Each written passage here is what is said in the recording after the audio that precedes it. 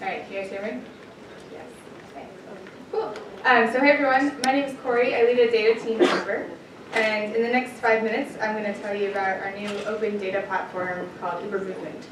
So if you take anything away from this talk, this is where you get it. I'll show this to you like 10 more times, so write it down later. Um, so I'll go through a bit of background, um, what it is, what it isn't, how to use it, and hopefully some ideas to get you started. There's the thing again. Okay, so this is a city. It's really hard to get facts about a city, facts are hard to get these days. So we realized that every time someone takes an Uber trip, that's an observation about that city's streets at that point in time. And it's actually dozens of observations every minute across space. Um, so you can measure how long it takes to get from one part of the city to another. So a quick sidebar, does anyone know what an MPO is? No city planners? Hey, there's a couple.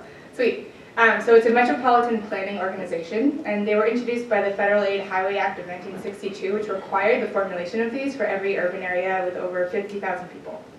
So they're required to work on transportation demand models, and to do that you need this input of how long it takes to get from place to place. But typically this is what they have to work with. Um, they, sparse data, costs $50,000 a year, and it's usually like five years old.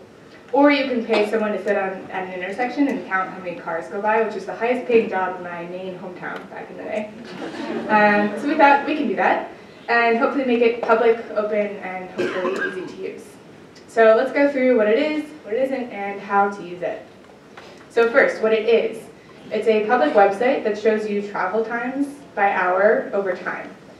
Um, so this is a quick GIF of the early version of it. So we aggregate usually first at the MPO aggregation. These traffic analysis zones, or TAZs, but we're trying to also launch with census tracts in the US. So travel times by hour, groups of hours, you can make custom groups um, over time. Right now it's just 2016, but we'll have more in there later. So what it isn't, it's not real time, and it's not about us. Sorry. So how do you use it? You go to movement.uber.com again and sign up for our whitelist. So we'll be launching the site to be fully public in the coming weeks, but right now it's just an email-only whitelist. And here's what it looks like. So this is DC showing travel times by census tract for the month of June.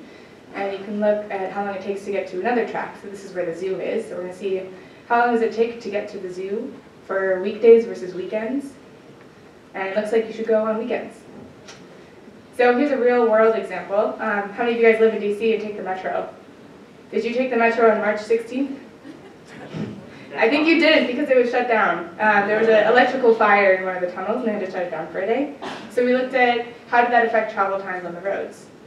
So it turns out compared to an average weekday, they were much worse, especially in this one area, sort of from the northeast to the southwest.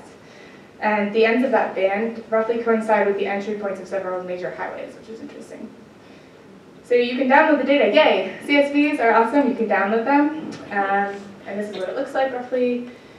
It also has the geometry of the boundary aggregation. If you don't know what a TAZ is, you can map it however you want. I love QGIS. Okay, so what else? This is what I'm most excited about. What happens to travel times when it rains? Or you add a new bike lane or some other infrastructure in the city? Beyonce concert gets out. It's voting day. Um, maybe there's a natural disaster, you want to see what happened, or other kinds of disasters. Maybe fuel prices are, are spiking, or maybe there's amazing spurious correlations out there spatially that we haven't thought about yet, so I'd love to hear more ideas about that. Um, so yeah, so this is movement. It's another way to measure the world around you, and hopefully it can be another tool in your toolkit.